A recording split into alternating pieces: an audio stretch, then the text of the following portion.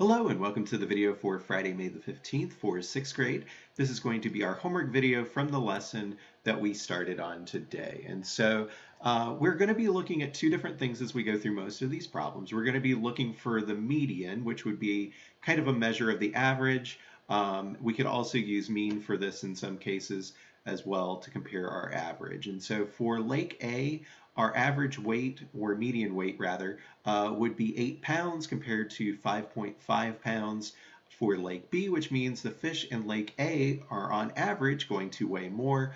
Um, however, our range of 8 compared to a range of 3 suggests that those values would be spread out more. And so we may have some rather small fish and we may have some rather large fish. Um, the average weight would still be higher, but we're going to have more variation. Number three, uh, the height for class two is going to be four centimeters higher. Um, however, we are going to have more variation in our heights. And so we're looking at the interquartile range this time. And so we're not looking at the far extremes, we're looking at the most compact um, set of data points that we're working with. And so inside that very compact range, we have a variation of about three centimeters. So we're going to have a higher average height, but we're going to have more uh, spread out results. For number four, the median for both of these is going to be 80. Um, our uh, interquartile range for math is going to be 25, which is a lot larger uh, than what we're working with for science. So those scores uh, for math would be far more spread out, which you can tell by just looking at the numbers, uh, whereas all the science scores are very close together. And so uh, for number five, uh, the two things that I would say that you want to mention in the short explanation is talking about finding an average or kind of a um, way of finding the center and then talking about consistency when we're looking at either our range or our interquartile range. So if you've talked about both of those things and how we're going to be looking at that, uh, that would be an acceptable answer in my book.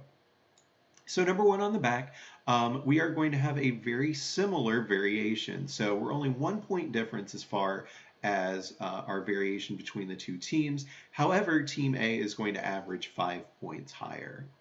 Uh, for B, Ben is going to have an average uh, test score of four points higher uh, using a mean. And then our interquartile range of nine suggests that Ben is far less consistent. So that most compact set of data values is going to be much more spread out compared to Gene's test scores. For number three, all we had to do was do 26 minus 24 to get a difference in the medians of two students. Uh, number four, we are going to end up having a median that would be 10.5 for that. Uh, so again, we're working with six data values. Uh, it would be between 10 and 11 uh, to get our median. And so that would represent uh, very closely five out of our six data points. If we go with the mean, which would be the average, we would be factoring in this outlier. And if we use the mode, then we would be picking our smallest value uh, to represent the entire set. So median would be the best way to do that. And then for our last problem, uh, number five, we're looking at teams A and C. So we're saying that they practice roughly the same amount of hours. So A and C, there's only a, a half hour difference per week.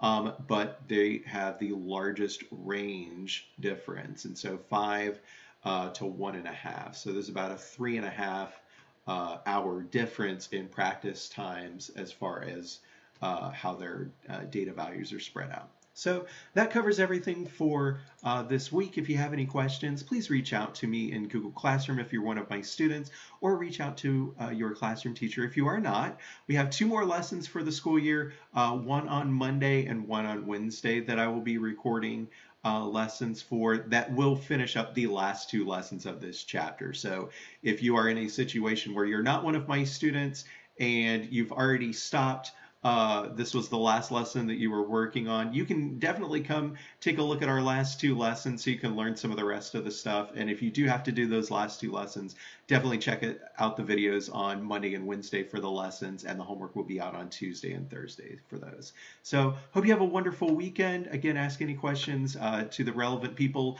uh, that can help you, and have a good weekend. I will see you on Monday.